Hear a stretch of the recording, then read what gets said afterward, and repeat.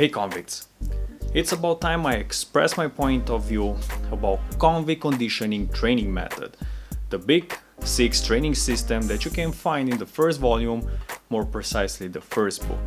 So in this video I'll dissect the exercise variations presented, rep and set ranges and volume in general. I'll talk about the master steps and one of the hardest exercises possible in basic bodyweight training then about the strict programming, my general perspective on how it relates to strength and muscles, and lastly about the coach himself, Paul Wade, the marketing behind uh, the book and his existence as a human being after all.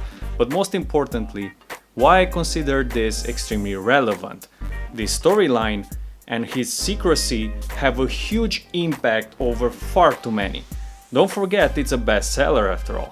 But first, let me start by saying that I was a true follower of the Big Six training system for months in my early beginnings in bodyweight training. It wasn't the only training system I followed, as I also jumped the rope and did athletics and some basic bodyweight exercises too. However, the book was okay to get some knowledge about basic calisthenics, and this was that came in front of me when I searched about calisthenics. It wasn't much until the fancy wording and storytelling hooked me in, as I think it was for you too. However, several years have passed since then, and I achieved a lot of experience throughout my journey, so that I can refer to the book now and give an accurate review, both positive and negative. And here it is. Let's take the first family of exercises.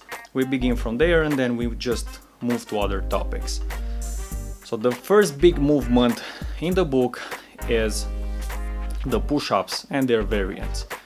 It begins with a few very light variants. I agree with Paul that they have a major benefit to those who suffered serious injuries and need to do recovery training or have atrophied muscles. Then it offers a few variations for the very beginners who lack in pushing strength. However, I got a problem with the form suggested in the book for inclined push-ups. I like keeping a straight alignment of my body and I tried this honeybee form and didn't find it very natural. That's the first thing I observed, but perhaps for you it is fine like that, I don't know. Then of course the major problem that I have with the book is why the hell isn't Paul Wade in those pictures? When I create a video or write about an exercise, every time I refer to my own persona and I show how I do it. I don't hire anybody in my place to perform the exercises. That's at least strange, but I'll get to that later, so stay with me. Okay, let's move to another exercise. We have kneeling push-ups. I personally recommend this exercise only for those who can do half the range normal push-ups. I don't like the form and I don't believe one should invest too much time and effort with it. Uh, there are better exercises like working in inclination as the book suggests and shorter ranges and even negative push-ups with holds on top. Where you just begin from the top, you stay for several seconds and you just come slowly on the, on the eccentric part. So kneeling push-ups worth a bit of attention, but get past them quick and advance to something more challenging even if you just started bodyweight training. You don't need to beat the progression steps to move to a further exercise, that's kind of stupid in my opinion.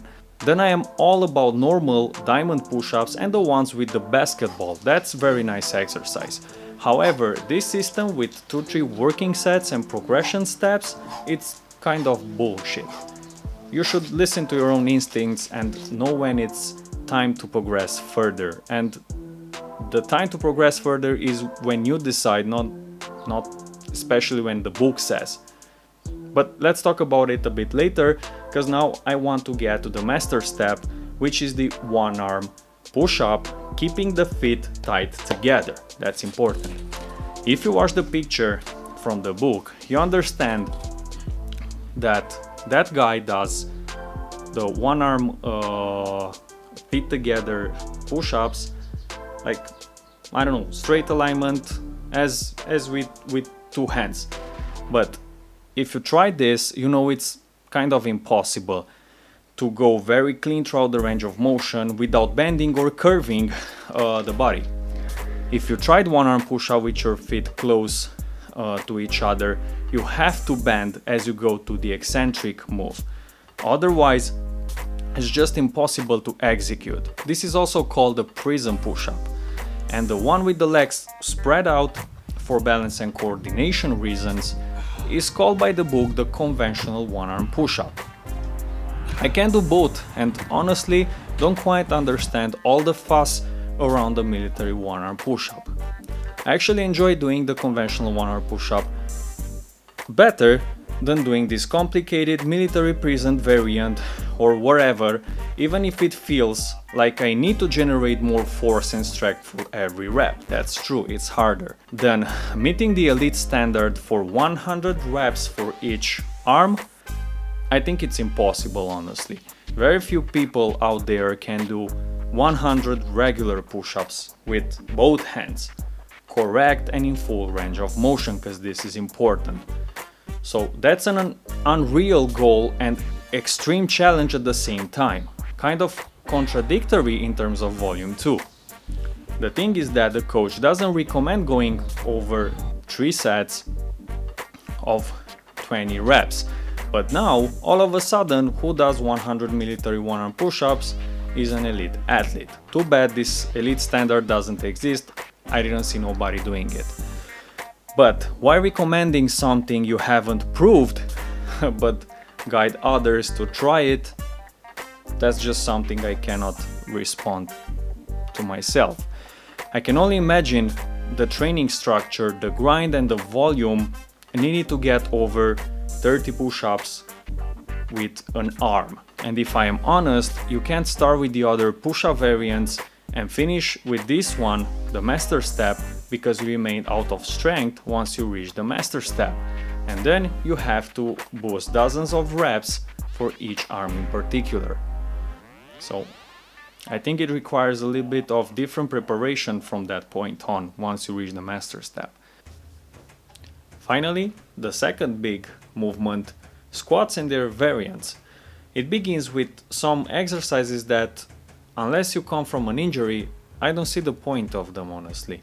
But there is one that can actually help many improve their form when squatting. The exercise is called supported squats or assisted regular squats as I like to refer to them. This one is remarkably good if you are rigid and lack in mobility to perform squats correctly and deeply, like even keeping the whole sole on the, on the ground when squatting you can help yourself a little bit with your hands. Done all other tougher exercises are more than fine. I can suggest that you can also do one leg squats on an elevated box. If you have some pain and problems in the lower back, you might find pistol squats dangerous. I had this issue so I, I know what I'm talking about. So this is a very good alternative. Just find a spot where you can stay elevated so the other leg leg just have space to fall uh, naturally. Once you reach the master step, the elite standard is something doable in my opinion, but it needs consistency and a lot of patience to work those reps. Then I also like the proposed variants like hill sprints, stair sprints, which is kind of similar, fireman sprints, very nice exercise here if you have a training partner, box jumps or you can do one leg one leg box jumps and even those car pushings you, here I think you need a, a driver to uh, push the brake um, but really really awesome exercises for the legs and I dare to say for the whole body because when you when you work in elevation with a steep hill or something when you push the car right you also engage the upper body and the midsection. There's nothing uh, negative about the pull-ups and leg raises. I like the general proposed exercises and their variants too. It's just that I think there are far too many uh, variants for leg raises there. You can work with two, three of the hardest, perhaps even knee raises. Other than that, bend a little the leg, then move it straight. I don't know what to say. you should include dedicated stretching exercises for your spine and for your legs, for the whole body, so you can, I don't know, get this ability to do straight leg raises on a pull-up bar. Now regarding bridges, I just think there are too many exercise variations again, and I don't see the point in reaching an elite standard here. There is plenty of exercises that improve the whole back and spinal muscles from the bottom to the top that you already do, like hill sprints, stair running, leg raises and many others, so you don't need so many variations here and to reach these elite standards. That's what I'm saying, not that you should avoid bridging at every time. Not to mention that I saw people and even girls, little girls, that can't do the master step. So I don't get it. And they didn't strike me as very strong, believe me, but rather agile and flexible. The last one, and I have to discuss a little in detail here, is the handstand push-up against the wall, of course.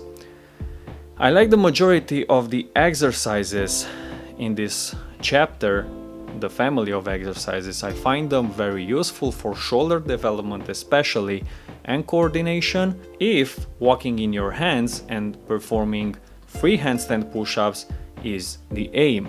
But, and it's a big but, I don't believe that one-arm handstand push-ups are achievable ever and by anyone regardless of the training.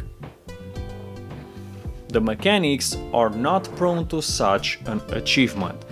The form looks very bad and I don't see any reason why you should even think of it. Plus, I'm still waiting for Paul to show us, the mortals, how it's done. All I saw on the internet, the YouTube videos, are sincerely complete crap. They rather pull with the toes on the wall inch by inch and compensate with the pushing strength or just I don't know twist entirely the body so that they can somehow push but it like looks very very very strange to me I don't understand it but other than that there are some variations there where you place a hand on the ball and the other well where there are two hands it's like really good exercise you can train with it. So what I suggest here, just get some exercise variations that you enjoy there and work with them. Now let's dive into the strict programming that the Big Six system provides. I get it, going beyond 10-20 reps for these exercises may be pointless from a strength perspective. I can relate with that, I don't agree. But here it is, the more reps you do, the easier an exercise becomes later and thus you get more adapted to regressive and progressive variants. That's why I can do one arm pull-ups and many other very hard exercises, not because I kept a low set and rep range, neither because I followed progressive training, low volume and strict programming, but because I work with basics and for very much until they got easier. Tempo suggests a lot of other variants too, like dips and many others, so it's pointless to believe you won't build total work volume if you go even by the book's recommendations. Not to mention, they have other books too they push to us to buy, so the volume and exercises keep adding upon. Then I'm not too fond of the structure either. I actually think it's even a better idea to go in a pyramid and begin with the hardest variations after a good warm-up instead of the other way around as the book suggests. I can't train one arm exercises after exhausting my muscles working with both hands. So why not mixing around? I don't understand. Plus I don't think you train only one big family in a single workout. You may want to work two or three big families in a single workout and your muscles will get tired so you want to focus on those very light exercises considering you want to get very strong or you want to mix them up a little and work with those hard variations too because you will still have energy left to work with the lighter ones in the end and this makes a lot more sense to me then the other issue is the same kind of classic sets and reps training method. It's a classic bodybuilding kind of method, While this works in general, I don't say for strength too, especially for muscles, but the body adapts eventually, so you need a new stimulus here. That's why you can change a bit and work with other methods too. And by other methods, I mean keep the big six movements. I'm not talking about getting in other exercises entirely, but do different training methods like, I don't know, pyramid style and ladder st style. For instance, uh, you can do five handstand push-ups, then four handstand push-ups, then three handstand push-ups, and so on. You finish the rep range that you that you establish, and then you move to another variations. You can change from handstand push-up family to another family like push-ups and working with one arm. That's pretty much what I suggest here. Oh, and not to forget the circuits. You can get like three, four exercises that somehow cover the whole uh, body and just move from one to another until you're fully exhausted. That's also a great idea to further stimulate the body and the nervous system to get stronger. Believe me that you won't get less strong if you change the training method. Then as I said, this type of training and structure will work up until a point. So far I didn't find too many with an impressive physique, neither strength. The reason I think is very simple, they attach to one way of training forever, without mixing and adding other types of training and exercises. Like, I stick with it, let's forget about the others.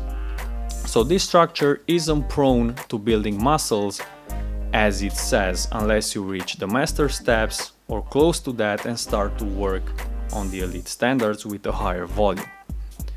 That huge volume to reach the elite standards, I believe it can develop some serious muscles given you have good nutrition also. So what I suggest is stop focusing so much on the first 3-4 progressions for each movement almost to meet the progression steps and start working with those that have a bigger impact instead. Then build sets, build reps beyond what it's given by the book, beyond the two uh, sets progression steps, even three uh, sets progression steps per exercise, if real muscles and strength is your purpose. Lastly, comes the question of whether Coach Paul Wade is real. And in my opinion, this book is a bestseller due to the storyline, storytelling, the bad guy who got incarcerated, and did drugs and turned out to be a training machine years after. The one who wrote the book is very good at finding the proper words, so kudos to him. Thus, the coach hired, in my opinion, someone to sell the story than the persons to appear in the book. So somehow we are forced to believe by the book and the marketing behind that Paul Wade actually did those elite standards and exercises but nothing gets proved by him. So my opinion, I wish I never had to prove myself. All these workout videos and pictures and stuff that I do and create, and many still question me. But they follow a ghost and believe it's, I don't know, the right way to train. That's at least very strange for me. So it's not a question of whether he is real or not, but I like questioning things I don't think and I wouldn't follow some someone who doesn't prove himself in fitness at least. More so if you saw the other books, then you see that Kavadlo brothers are present there and all they said is that they communicated through emails, so they don't know him personally. So how the heck do you appear in his books but you don't know of his of his existence. So that makes me believe that he is not that real. Yes, the book was written uh, by someone who knows calisthenics, knows the stuff. He's probably very good with it. I don't know who's behind, pro probably Dragon Doors, the, who published the, the book on Amazon. But other than that, it's more of a lie. If Paul is real, then come out, prove the stuff that you said, otherwise it's just nothing, thin air. So this is it, I hope that my ideas will help you train with the big six movements a little bit better and meet your progression faster because this is what it's all about. And I don't know, I catch you in the next vlog of mine. Salute!